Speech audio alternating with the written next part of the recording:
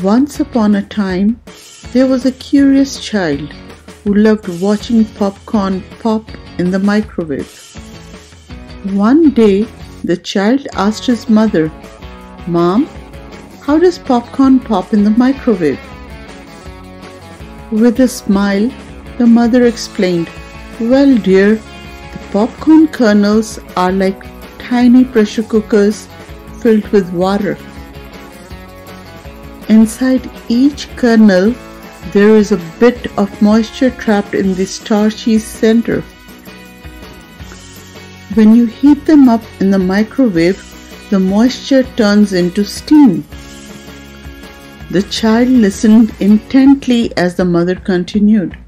As the kernels get hotter and hotter, the pressure from the steam builds up inside. Eventually, the pressure becomes so high that it causes the hard shell of the kernel to burst open with a pop. This releases all the steam and turns the kernels inside out, transforming it into the fluffy popcorn we love to eat. Excitedly, the child exclaimed, Wow, Mom, it's like magic happening right in our microwave.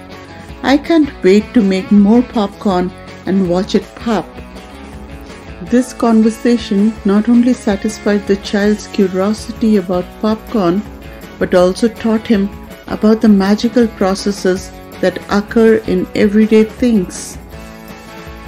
And so, armed with newfound knowledge, the child eagerly continued his popcorn popping adventures, marveling at the simple yet extraordinary science behind it all.